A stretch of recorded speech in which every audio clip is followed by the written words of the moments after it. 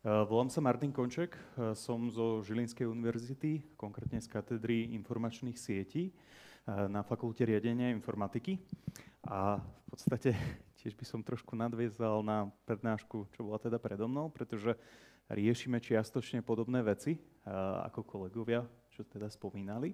Konkrétne my na katedre informačných sietí sa zaoberáme relatívne rôznorodou výučbou od Eh, klasických počítačových sietí, kde sme členmi Cisco Akadémie, Juniper Akadémie, Fortinet Akadémie, plus eh, používame aj mikrotiky. Eh, tieto záležitosti často tiež študenti pracujú aj na virtuálnych laboratóriách, kde používame GNS3, na rozdiel od kolegov, preto aj otázky teda podobné od môjho kolegu, ktoré už zazneli. Taktiež sa venujeme výučbe predmetov, kde študenti pracujú na úlohách, ako sa zoznámiť eh, s administráciou rôznych operačných systémov, či už je to Windows alebo Linux, eh, kde riešia úlohy, ktoré sa vyskytujú v nejakých malých firmách, ako nejaký základný DNS server, DHCP server a tak ďalej. Špeciálne sa zaoberáme aj samotnou virtualizáciou, kde študenti si prejdú samotné hypervízory, kde používame rôznorodé, či už je to VMware, KVM alebo priamo aj XCPNG, kde XN. Taktiež rôzne cloudové prostredia. Sme súčasťou AWS Akadémie. Pracujeme aj na OpenStacku, v niektorých častiach zabehame aj do, do kruhu Kubernetesu. No a uh, ako poslednú oblasť, takú významnú, tvorí bezpečnosť, kde opäť používame nejaké Cisco kurzy, po prípade od iných výrobcov. Uh, taktiež naši študenti v rámci inžinierského štúdia pracujú dva roky uh, na takých väčších projektov, ktoré sú z týchto oblastí spomínaných. No a Zaoberáme sa taktiež výskumom v zmienených oblastiach, ako napríklad cloud, počítačové siete, bezpečnosť, SDN, SD-WAN. Všetky tieto úlohy, alebo teda väčšina z týchto oblastí, na to, aby sme mohli na nich pracovať, či už po výučbovej stránke alebo výskumnej stránke, potrebujeme, podobne ako kolegovia spomínali, nejaké prostredia. Študenti buď pracujú na fyzických zariadeniach, ale čím ďalej, tým viac, presne kvôli spomenutým problémom škálovaní, zapájaní káblov, študenti využívajú virtualizáciu.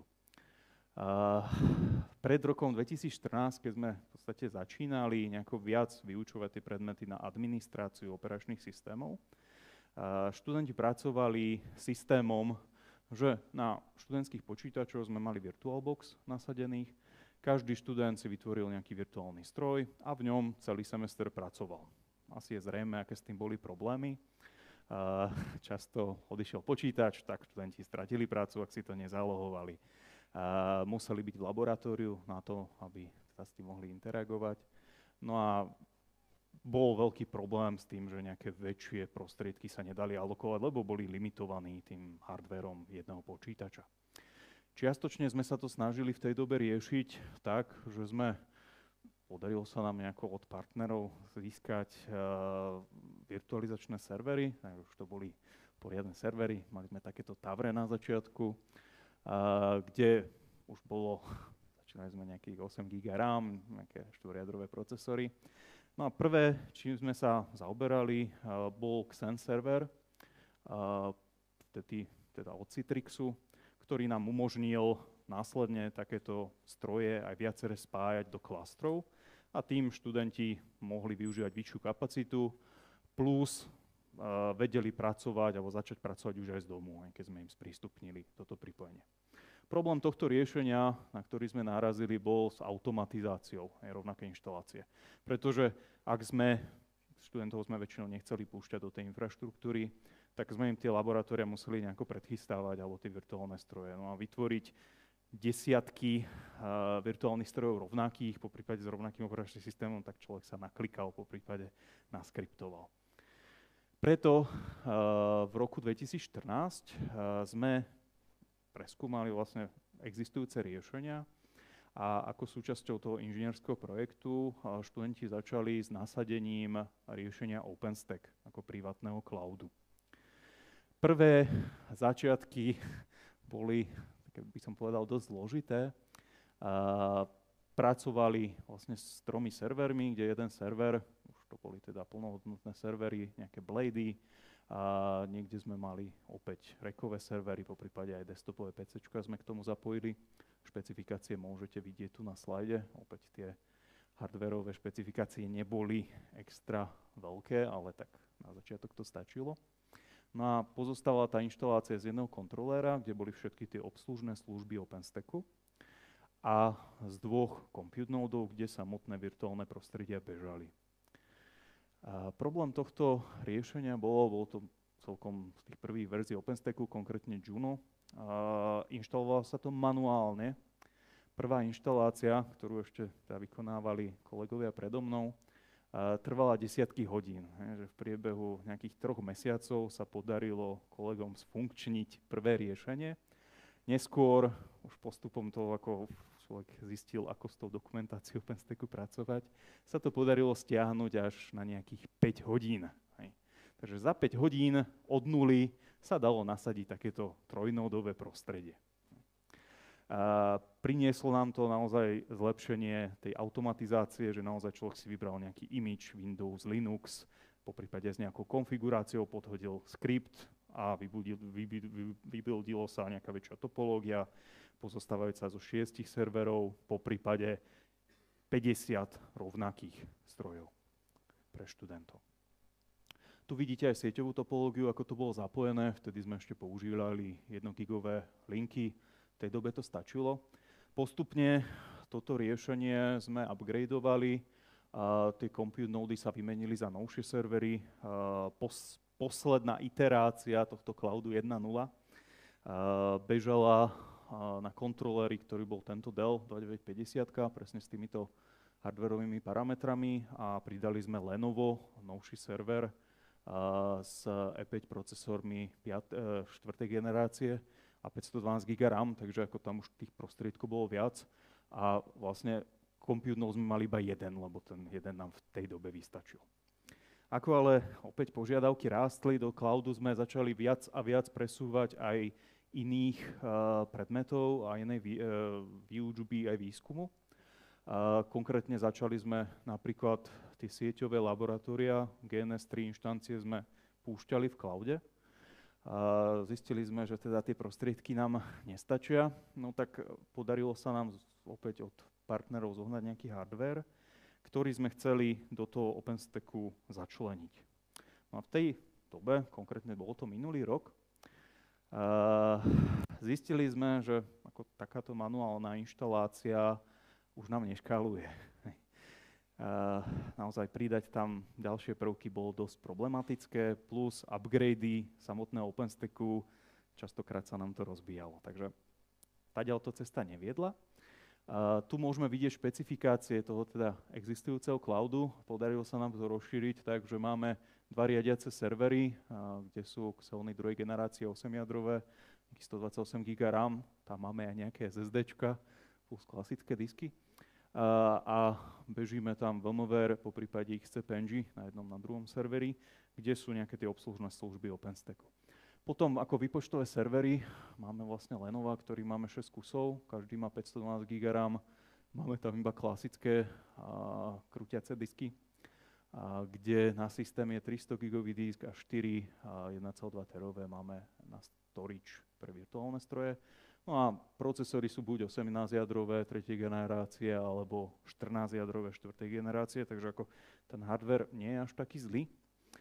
No a keď už sme tento hardware mali, tak sme sa pozerali, či by nebolo možné nejako zautomatizovať túto inštaláciu OpenStacku. Opäť s pomocou študentov sa nám podarilo vyskúšať rôzne riešenia, napríklad Starlink X riešenie, ktoré je často využité na nasadenie OpenStacku v produkčnom prostredí. S tým, ako častokrát tieto nasadenia sme mali problém, že aj napriek tomu, že ten hardware bol výkonný, tak bol problém, že nemáme napríklad SSD, tak to nešlapalo tak, ako by malo. Takže viacero takýchto riešení sme vyskúšali podarilo sa nám vybrať jedno, ktoré si popíšeme za chvíľku. Ja by som sa ešte vrátil ku sieťovej topológii, ako máme vlastne tieto cloudové servery zapojené. Konkrétne všetko je to nasadené na 10 gigovej sieti. Máme dva Nexus prepínače 5000 rady, ktoré sú spojené vo VPC klastri. No a každý z tých serverov je dvojicou káblov pripojený do jedného a do druhého servera pre zvýšenie redundancie. Nad tým máme FortiGate uh, firewall, ktorý rieši VPN prístupy plus uh, zabezpečenie tohto celého cloudového riešenia. Uh, čo sa týka tej automatizácie a nasadenia OpenStacku, nakoniec sme vybrali riešenie OpenStack Charms, za ktorým stojí firma Canonical ako výrobca Ubuntu Linuxu, ktorá poskytuje aj podporu. Takže ak máte nejaký business case na toto riešenie, viete si od Canonical zaplatiť aj nasadenie a samotnú podporu tohto riešenia. Uh, OpenStack Charms pozostáva z dvoch komponentov. Uh, prvý uh, MAS, teda Metal as a Service, je riešenie, ktoré nám umožní bare metal provisioning samotných serverov. Takže zoberieme čistý server, nastavíme tam PXE boot a on priamo nasadí uh, Linuxovú distribúciu, konkrétne Ubuntu a naň následne sa nainštalujú samotné služby OpenStacku. Na to sa využíva uh, súčasť Žužu, uh, čo je orchestračné riešenie pomocou tzv. charmov.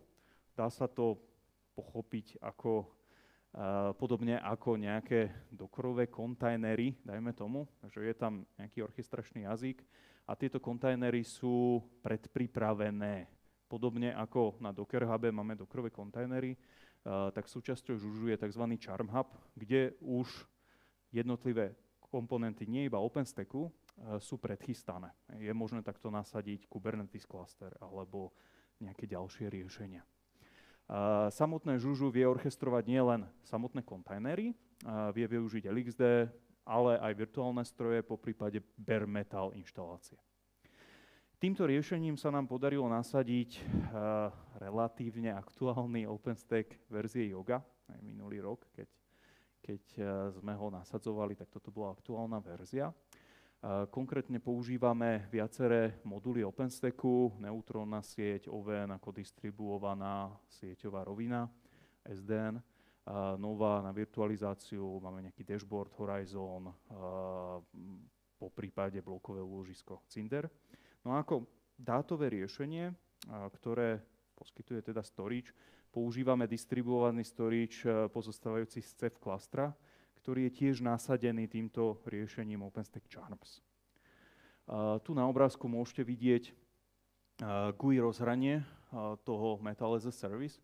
Takže v podstate potom, ako sa tam pridajú servery, vidíte ich tu, tu vidno tie naše servery, a vieme s nimi pracovať. Vieme povedať, že nasad nám na, na toto riešenie. Ako to nasadenie cez OpenStack Charms vyzerá? Na tomto slajde môžete vidieť kroky, ktoré k tomuto pristupujú. Takže v prvom kroku je potrebné nainštalovať MAS a žužu. Stačí na to nejaký virtuálny stroj. My to máme nasadené na našich kontroléroch. Následne do MAS systému, či už cez webové rozhranie alebo cez nejaký command line, je potrebné pridať samotné bare metal servery, ktoré bude ten MAS spravovať a nastaviť, aby bolo možné pristúpať k ním pomocou IPMI alebo Redfish rozhrania a nastaviť na nich PXE boot. Takže samotný MAS potom, keď sa mu dá pokyn, vie tie servery zapnúť, vie nabútovať a spustiť inštaláciu a ďalšie e, kroky na nich vykonať. E, po e, pridaní samotných serverov nasleduje deployment žužu kontroléra, Žužu potrebuje separátny stroj, stačí kľudne virtuálny stroj, ktorý už potom spúšťa tie orchestračné skripty na jednotlivých častiach toho klastra. Posledným krokom je už samotný deployment OpenStacku. Ten je relatívne jednoduchý, keď sa táto automatizácia využije. Buď je možné použiť samotné command lineové príkazy. Tu vidíte príkaz, ktorým vieme vytvoriť cefový klaster na základe konfigurácie v YAMLi. Konkrétne použili sme 4 nody a nasadili sme s nimi CEF OSD komponent. Podobne tu je príkaz, ako je možné nasadiť databázu. Používa sa tam MySQL cluster, ktorý pozostáva z troch serverov, z troch inštancií a konkrétne tu vieme špecifikovať, že má sa to nasadiť na nody, tie bermatalové 012, aj dajú sa nejako očíslovať, a má sa to nasadiť do LXD kontajnerov. Takže aj to vieme povedať, že tento komponent nenasaď na permetal, ale daj to do kontajnera alebo vytvor tam automaticky virtuálny stroj a tak ďalej.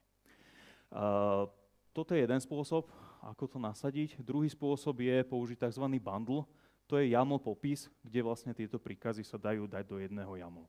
A potom v podstate spustíme ten samotný bundle a ten nám vystavia celý OpenStack. Uh, pomocou tohto riešenia aj v, za využití tých šiestich serverov, ktoré máme, uh, sa nám podarilo nasadenie OpenStacku stiahnuť na 3 hodiny bez interakcie uh, administrátora nezávislo od toho, keby sme pridali, ja neviem, 6-7 serverov, bolo by to podobné. To sme tiež skúšali, keď sme mali 3, bolo to rovnako. Takže ako ten čas inštalácie sme naozaj stiahli a, a administrátor nemusí naozaj interagovať celý čas pri tom. A, tu môžeme vidieť, a, ako následne vyzerá, keď je celý ten OpenSec na, nasadený. Samotné Žužu ako orchestrátor umožňuje aj naďalej po tom nasadení spravovať OpenStackový klaster, kde vidíme uh, zdravie alebo stav jednotlivých komponentov. Môžete to vidieť tu, keď je všetko zelené, super. Takže uh, naozaj celý klaster je v poriadku.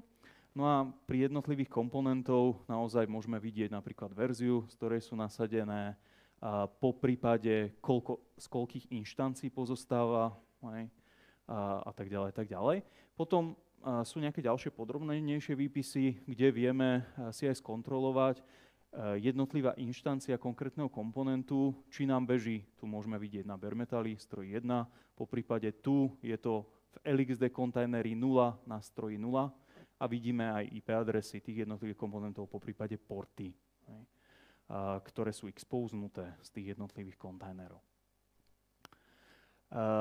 Počas používania tohto riešenia, máme to nasadené už takmer rok uh, pomocou tohto OpenStack Charms, sa nám vyskytlo viacero problémov. Väčšina z nich bohužiaľ je spôsobená s tým, že uh, všetky tieto servery sú v podstate staršie, ktoré boli vyradené u nejakých partnerov.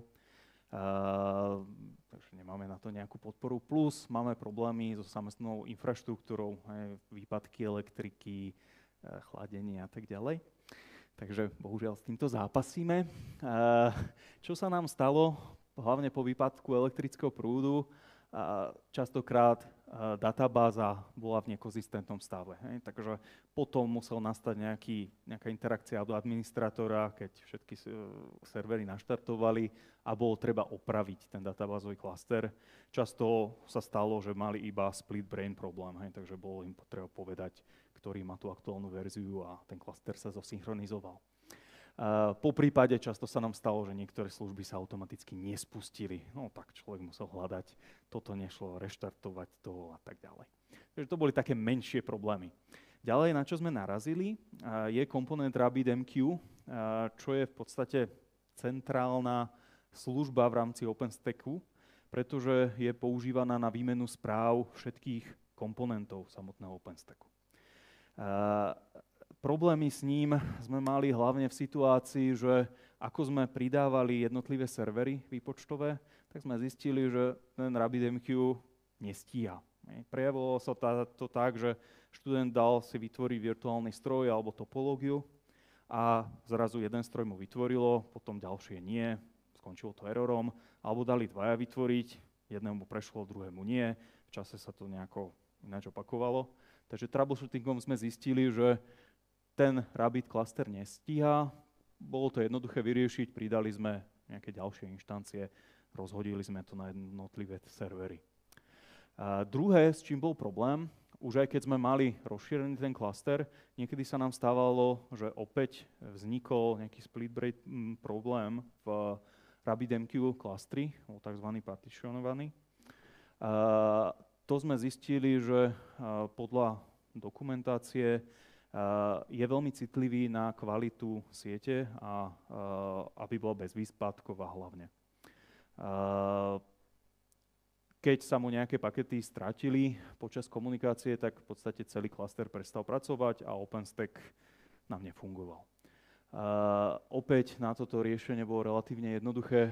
Podarilo sa nám nájsť parameter AutoHeal, ktorý nie je štandardný, ale uh, hovorí tomu cefovému, cefovému RabbitMQ klastru, že aj napriek tomu, že stratíš nejaké správy, nedaj sa do toho chybového stavu. Hej. Takže nie je to až také spolahlivé, ale bude to funkčné aspoň.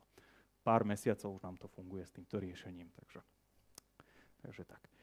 Čo sa týka plánov do budúcna, e, tento projekt je už relatívne rozsiahlý u nás, pracuje na tom veľa študentov a vlastne aj kolegovia, čo sú tu so mnou, taktiež ja. Máme zo pár úloh, ktoré sú veľmi kritické. Nemáme riešené zatiaľ zálohovanie, eh, čo sa týka upgradeu a toho sa trošku ešte bojíme, aby, keďže tento klaster sa používa momentálne na výučbu, teraz aktuálne na skúšanie, tak ako nechceme robiť tieto zásahy, aj keď by mali byť bezproblémové, takže máme nejakých zo pár serverov, kde študenti to momentálne skúšajú na testovacom prostredí, aby sme si toto hlavné nerozhodili. A taktiež potrebujeme rozšíriť nejaký monitoring, čiastočne to už spravené je, ale je potrebné to nejako dotiahnuť. A, a, taktiež nejaké právne úpravy, ako povedať, že študent je zodpovedný hej, za tú infraštruktúru, keď mu to hacknú, je tam prístup do internetu, čo sa stane a tak ďalej, tak ďalej. Takže toto sú časti, na ktorých momentálne sa pracuje. No a ďalej by sme chceli pridávať ďalšie služby, dns napríklad automatické v OpenStacku nemáme, nejaký shared file systém a tak ďalej. Tak, a tak ďalej.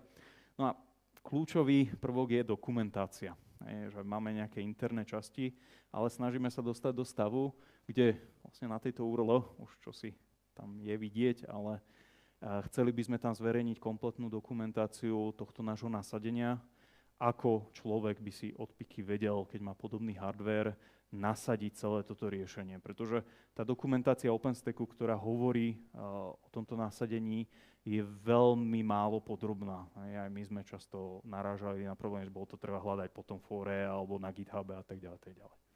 Takže toto sú naše ciele. A tu na obrázku môžete vidieť ten súčasný klaster. Hej. Tie dva sú kontroléry, toto sú tie výpočtové uzly a tu je jeden z Nexusov. Takže ďakujem veľmi pekne za pozornosť. Ak máte nějaké otázky, rád odpovím. Jo, e, děkuju. E, já bych se zeptal, jak bojujete s tím, že vás honí, abyste publikovali a tyhle ty věci berou hodně času.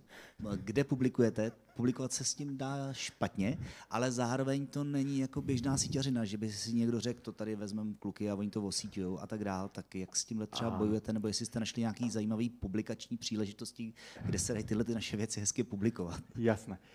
Presne, áno. Toto bohužiaľ na tú publikáciu nie je úplne vďačné. Čo sme mali nejaké publikácie, tak boli často na konferenciách, ktoré boli založené na výučbu, keďže toto na výučbu, dá sa povedať, je použité dvojznačne. Buď, že vyučujeme v tom študentov, alebo počas tých inžinierských projektov tí študenti naozaj e, spolupracujú na tom nasadení, učia sa, ako ten OpenStack spravovať. Hej? Takže z tohto máme nejaké publikačné výstupy. A potom, čo sú, tak je to skôr, že ďalší členovia našej katedry, s ktorými spolupracujeme, tak používajú tieto prostriedky na nejaké výpočty, ja neviem, MATLAB sme tam spustili a tak, takže im to uľahčuje činnosť. Takže z toho sú potom ďalšie publikačné výstupy. Ale áno, ako samotné toto riešenie je skôr tak do toho firemného prostredia, nie až tak akademického. Takže my sme sa snažili e, to využiť e, ako riešenie týchto našich problémov, ktorými sa stretávame pri výučbe, ktoré čiastočne ste teda aj vy spomínali, že čelíme podobné, podobným problémom. Takže